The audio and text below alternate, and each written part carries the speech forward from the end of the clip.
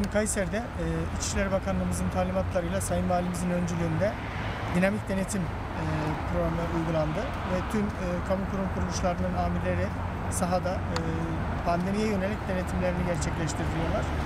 E, burada e, bu denetim bizim için e, önemli ve katkısı şudur.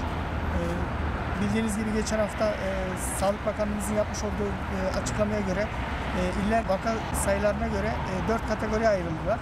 Burada sadece vaka sayıları değil, bunun yanında hastane yoğunluk oranı, vaka test oranı ve salgın e, ilerleyişi de bu e, parametreyi etkilemektedir. Ancak şunu görmekteyiz ki açıklandıktan sonraki şu 3 gün içerisinde Kayseri olarak kırmızı alanda bulunuyoruz. Yani önümüzdeki açılacak açıklanacak durumda kırmızı alanda olduğumuzu bilmenizi istiyorum. Çünkü bu artık hepimizin elinde. Ne kadar tedbirlere uyabilirsek bu kırmızı e, gidişi durdurabiliriz.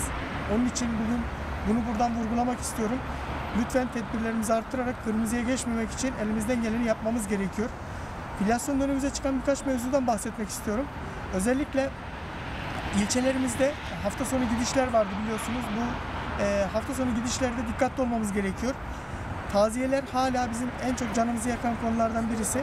Özellikle il dışından gelen veyahut da yurt dışından gurbetçi olarak gelen e, taziye için gelenlerde e, tabii olayın üzüntüsünün içerisinde e, tedbir unutulabiliyor. Bu konuda azami derecede dikkat etmek gerekiyor. Çünkü çünkü son e, almış olduğumuz kararların hepsinde e, Tomarza'da, Develi'de, İncesu'da, Yeşilsar'da e, taziye ziyaretlerinin öne çıktığını görüyoruz. Burada şimdi yine bir ilçemizde yine taziye ziyaretinden kaynaklı vaka artışımız var. Yani bunların olması hepimizi üzüyor. İlimiz bundan sonra total etkilenecek. Bunlara azami derecede riayet etmemiz gerekiyor.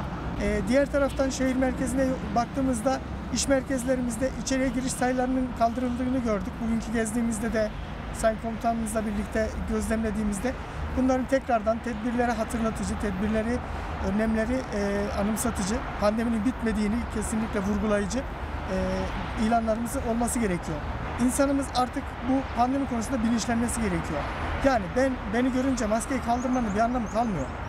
Önemli olan o bilinci edinip o iç- onu içselleştirip ve onu uygulaması, kişiler insanların kendi öz hayatlarına uygulaması gerekiyor. Yoksa biz bu süreçten uzun süre çıkamayabiliriz. Her ne kadar şöyle bir risk de var. Bunu da paylaşayım. E, aşılama konusundan dolayı aşının vermiş olduğu bir rehavet de var. Aşı yapılıyoruz diye, aşı yapıldık diye kendimizi boşlamayalım. Çünkü aşının etkinliği ilk dozdan yaklaşık 42 gün sonra başlıyor.